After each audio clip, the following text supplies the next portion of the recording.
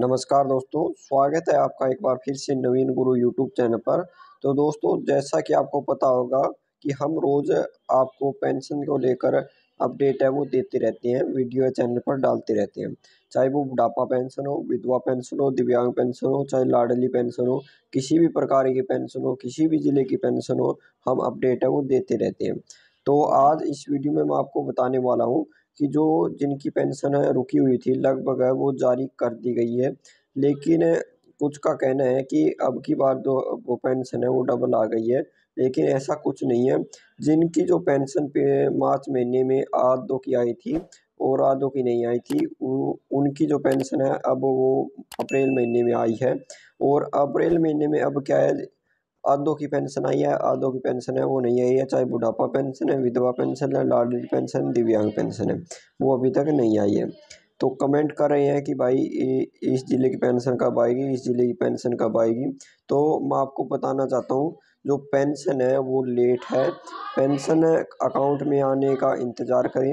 लेकिन क्या है, जिनका जो इंडिया पोस्ट पेमेंट बैंक का अकाउंट है, इंडिया डाकघर में जिनका अकाउंट है उनकी बताया जा रहा है कि उनकी जो पेंशन है वो जारी कर दी गई है, उनके अकाउंट में है, वो पेंशन है, वो डाल दी गई है।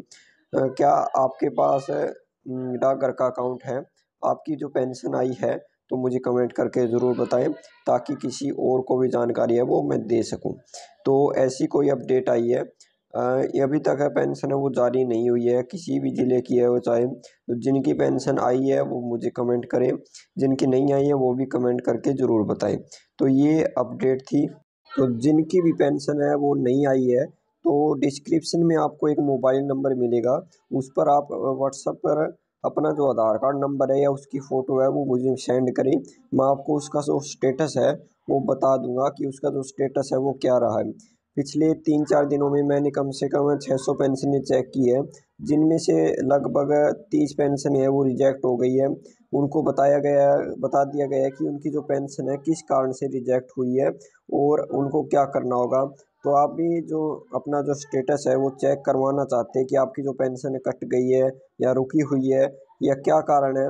तो आप मुझे जो नीचे डिस्क्रिप्शन में आपको एक मोबाइल नंबर मिलेगा, उस पर आप अपना जो आधार कार्ड है व्हाट्सअप करें। तो चलिए मिलते हैं एक और नई जानकारी के साथ। वीडियो अच्छी लगे, वीडियो को लाइक और शेयर ज़रूर करें।